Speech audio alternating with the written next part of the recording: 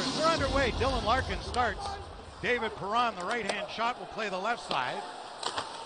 Lucas Raymond, a right-hand shot, plays the right side, right in front of the goal, and they score right off the bat. it's Dylan Sikura. That took just 11 seconds, and the Hawks lead it one to nothing. Well, bad bounces all over the place for Detroit and good ones for Chicago, just like last night in Pittsburgh. The Pittsburgh Penguins open the scoring very, very quickly.